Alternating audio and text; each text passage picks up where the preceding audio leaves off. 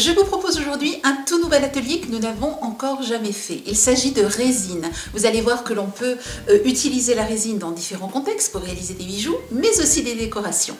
Euh, j'ai mis un petit peu de temps à vous présenter cette résine, je sais que plusieurs me l'ont demandé. J'ai mis simplement du temps parce que j'avais du mal à trouver le produit que je voulais vous présenter. Je ne voulais pas, alors j'ai testé hein, des choses qui sentaient très très fort, qui étaient difficiles à travailler, qui ne prenaient pas. Donc voilà, enfin, après 2-3 ans de recherche, j'ai trouvé ce que j'avais envie de vous présenter. Il s'agit d'une résine qui est simple à utiliser, quasiment sans odeur lorsque vous la travaillez et qui vous permet de réaliser donc de très très jolies décorations. Regardez Voici la résine que je vous propose d'utiliser aujourd'hui. Elle est très solide et permet de créer des objets en inclusion ou en moulage. Elle permet aussi d'imiter parfaitement la clarté de l'eau et donc de créer des inclusions allant jusqu'à 10 cm d'épaisseur elle contient un additif débulant qui évite euh, d'avoir des microbules dix fois moins que les résines classiques. Totalement transparente et incolore, elle a une très bonne résistance aux UV. Elle est sans odeur et formulée sans solvant. C'est une résine qui résiste au lavage, aux rayures et au choc.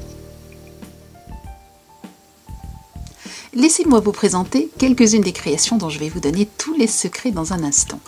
Regardez, vous pouvez travailler avec des paillettes, donc nous parlions d'inclusion. Voici une inclusion de paillettes. Vous pouvez aussi utiliser de petits éléments, euh, des perles, euh, des embellissements que vous allez trouver dans la gamme F-Color.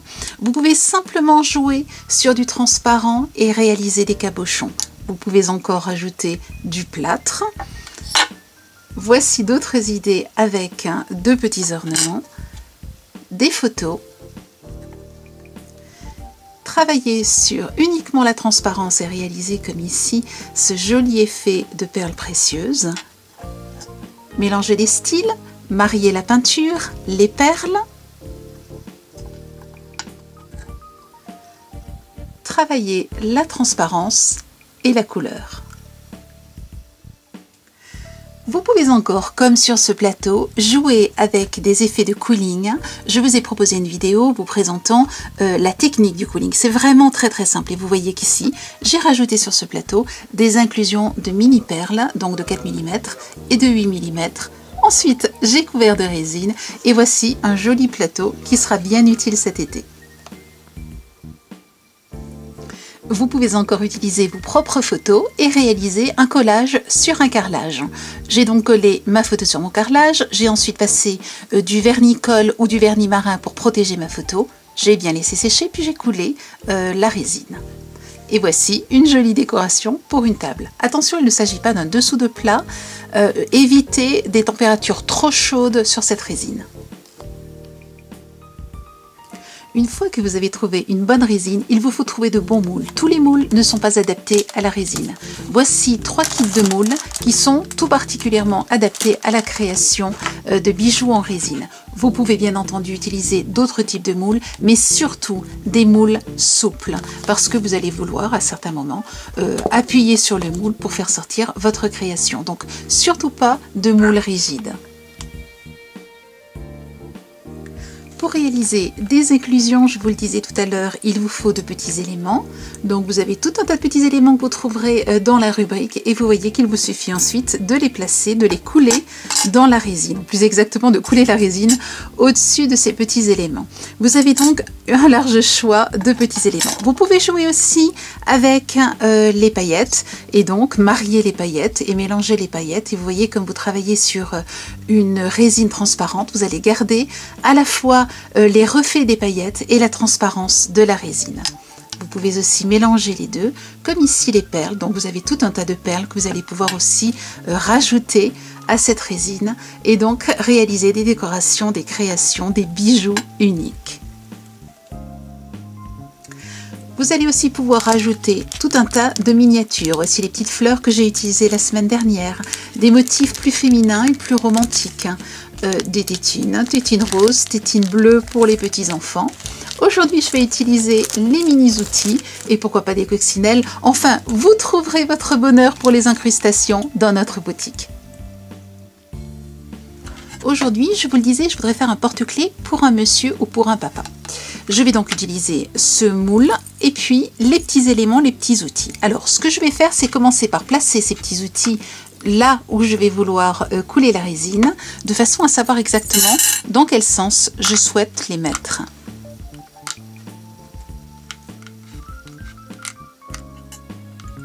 Une fois que j'ai bien réfléchi au sens dans lequel je souhaite mettre mes outils, je vais légèrement décaler euh, mon moule et je vais les placer exactement de la même manière sur ma table de façon à me souvenir comment je veux les placer.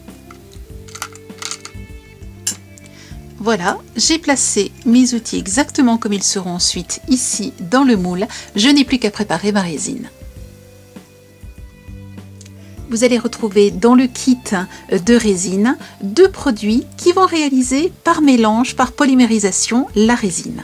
Vous allez aussi avoir un petit verre doseur, une spatule et des gants. Pour de petites doses, euh, comme nous allons faire aujourd'hui, je vous conseille d'avoir en plus un petit euh, gobelet en plastique que vous allez aussi trouver dans la, dans la boutique. Pour les grandes quantités, je vous conseille un bocal. Le mélange est ensuite très simple, un volume de durcisseur avec deux volumes de résine. Vous voyez, mon verre mesureur est divisé en trois parties. Je vais donc utiliser une quantité de durcisseur pour deux quantités de résine.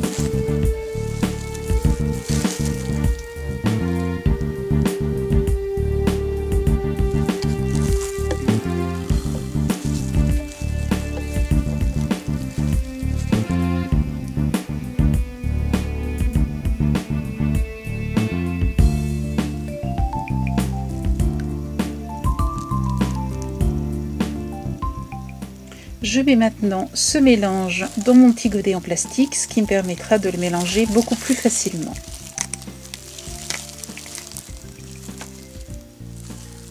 Ce qui se passe maintenant au niveau du mélange est très intéressant. Regardez, mon mélange devient légèrement laiteux. Vous voyez qu'il n'est plus transparent. Je vais donc très doucement mélanger. L'idéal, regardez, c'est de former des huit à l'intérieur de votre godet. Ce que vous voulez, c'est surtout ne pas rajouter de bulles. Euh, vous allez donc éviter des mélanges du type euh, crème fouettée euh, et donc mélanger très très délicatement.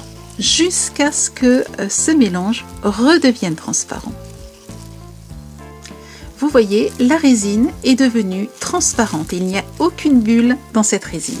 Ce que je vais faire maintenant, c'est ce que l'on appelle un double potting, c'est-à-dire que je vais le mettre dans un deuxième pot et je reviens au pot de départ, ce qui vous permet vraiment d'être certain que votre mélange a été parfaitement fait.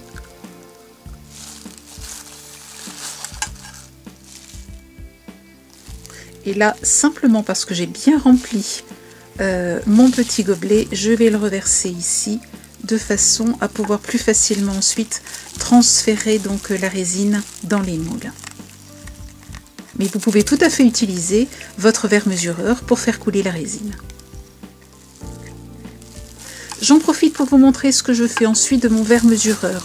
Je vais simplement, toujours en gardant mes gants, utiliser un papier absorbant. Je ne vais pas utiliser de détergent, mais simplement venir essuyer parfaitement euh, mon verre mesureur avec ce papier absorbant. Puis je laisse sécher. J'ai repris ici mon moule et attention, je vais choisir un endroit euh, duquel il ne bougera plus pendant 48 heures. Donc à réfléchir avant de commencer. J'ai ensuite mis un pot, euh, ici c'est du vernis mais peu importe, qui va me permettre de bien stabiliser mon moule parce que celui-ci est relativement léger donc je le veux vraiment bien bien plat. Ensuite, eh bien, il ne reste plus qu'à couler la résine. Lorsque vous coulez la résine sur quelque support que ce soit, pensez toujours euh, à la laisser prendre forme. N'essayez pas de remplir tout tout de suite. Si elle déborde un petit peu, ça n'est pas grave. Je ne remplis pas complètement parce que je sais que mes outils risquent de faire monter le niveau de la résine. Et je vais maintenant reprendre mes petits outils et simplement les placer à l'intérieur. Vous voyez, je place et je bouge. J'ai largement le temps, il n'y a vraiment pas de quoi stresser. Euh, j'utilise ici une petite pique, une petite tige en métal que nous utilisons pour réaliser des boucles d'oreilles. Euh, vous pouvez aussi utiliser un cure-dent et je vais donc placer mes outils comme je le souhaite grâce à cette petite tige. Il n'y a aucune urgence.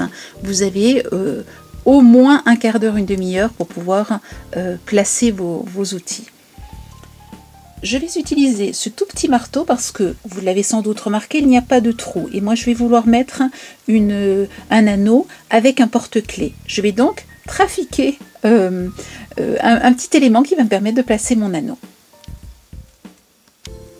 Je reprends ici une tige euh, pour les bijoux et vous voyez que je coupe la tête plate.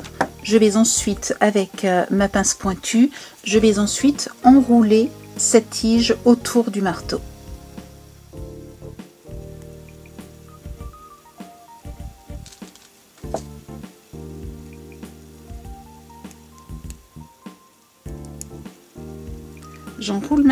Le reste de la tige et vous voyez, je laisse dépasser un tout petit peu. Alors je vais essayer de vous le montrer de près, de façon à ce que vous puissiez bien le voir. Vous voyez, je laisse dépasser un petit peu, ce qui fait que quand je vais poser euh, mon marteau, eh bien j'aurai cet élément-là qui va dépasser, sur lequel je pourrai mettre un anneau et donc mon porte-clés.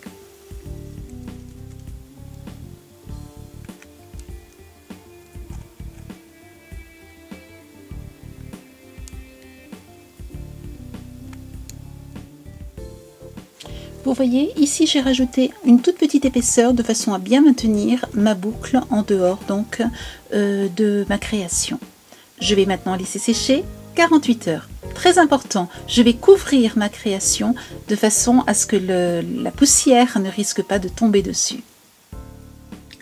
Laissez-moi vous montrer une autre accroche que j'ai réalisée, vous allez pouvoir réaliser comme celle que je viens de vous montrer. J'ai simplement ici, au lieu de bloquer, je n'avais pas d'incrustation sur laquelle bloquer. J'ai mis une petite perle et j'ai bloqué en réalité sur la petite perle. Ensuite, j'ai laissé sécher et voilà, vous avez une très jolie suspension pour pouvoir passer ensuite un collier. Il me reste encore un petit peu de résine, je vais en profiter pour faire d'autres créations je vais ici rajouter des paillettes.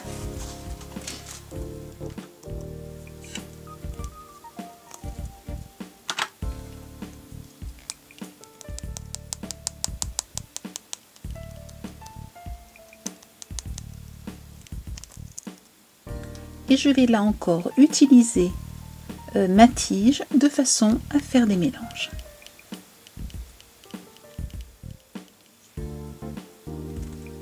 Je la sécher, là encore sous une cloche.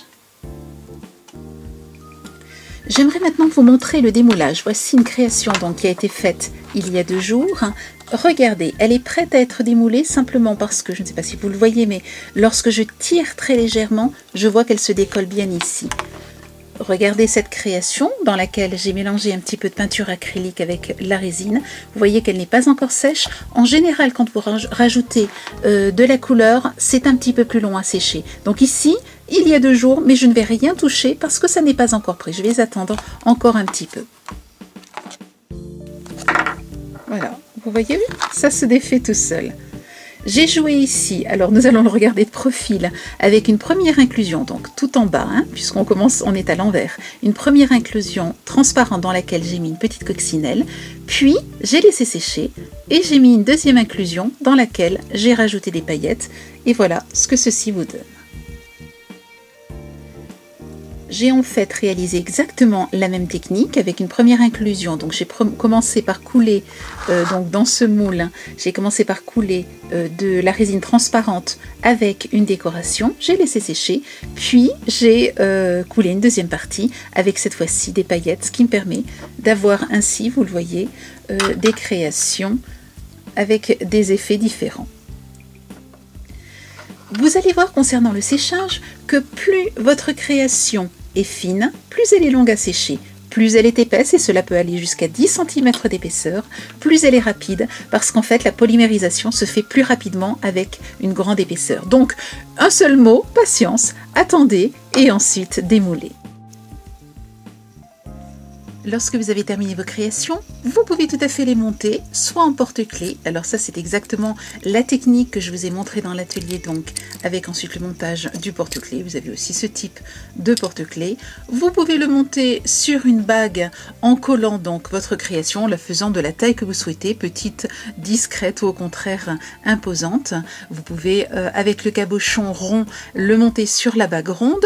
Vous pouvez aussi euh, utiliser euh, ceci pour pouvoir réaliser donc une broche et pourquoi pas des magnettes simplement en collant donc des aimants au dos de vos créations. Et puis bien entendu, vous pouvez les monter sur des colliers, des boucles d'oreilles, des bracelets.